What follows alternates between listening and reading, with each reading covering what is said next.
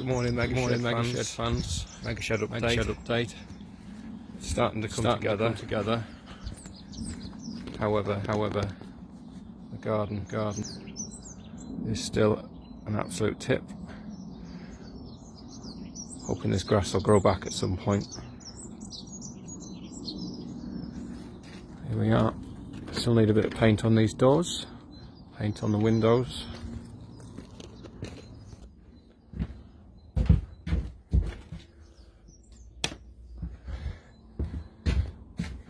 So I've temporarily got all of this stuff stored at one end.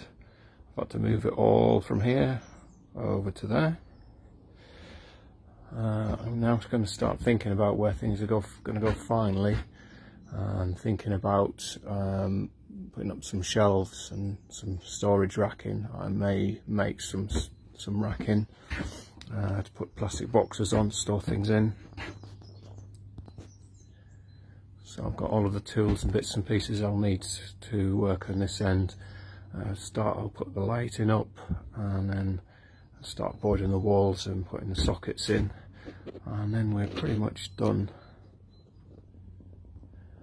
Discovered I really could do with uh, sticking up some of this uh, insulation. It's, uh, stuffed it in there, it feels like it goes well and then uh, even put uh, foil tape on the edge to seal it, vapor barrier and stick it up, but it doesn't stick great to this uh, timber, so I'm going to have to put some on, adhesive onto some of them.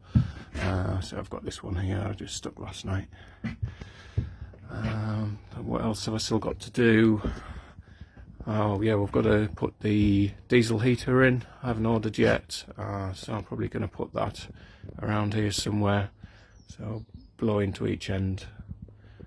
Um, some warm air heating and I've still got my electrician chap to come and wire up the consumer unit. Um, oh I'm, uh, I've put that switch up there. I'm going to put an exterior light uh, PIR sensor light outside. And the the dream is that I'll have a, a lathe to put in here as well. Um, I'm hoping I'll put it there just under the window. Um, not sure whether I'm going to have to go through the floor and put it down to solid base. Um, I think I just have to put it in there and see. And uh, apparently they should have a, like a concrete base so that it doesn't move. So not long now before I can actually start using the shed as a shed. I'm going to get a bit of work done in here. Um, got some bike maintenance to do, um, a bit of welding, etc.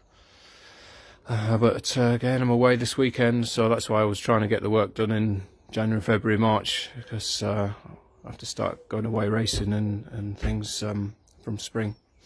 Anyway, uh, that's how far I've got. I'll speak to you soon. Mega Shed out.